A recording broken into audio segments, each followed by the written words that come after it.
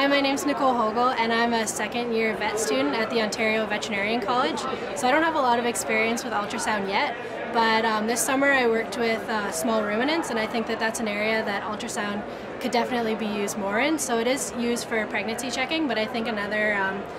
asset to that industry would be to use it to find out how many um, how many lambs prolific ewes are having, and that way you could kind of um, sort um, so that really prolific ewes could be matched with ewes that are having fewer lambs, and then it'd be a lot easier to cross foster and decrease the number of lambs within an artificial rearing system. So I definitely think that uh, sheep producers could benefit a lot from ultrasound.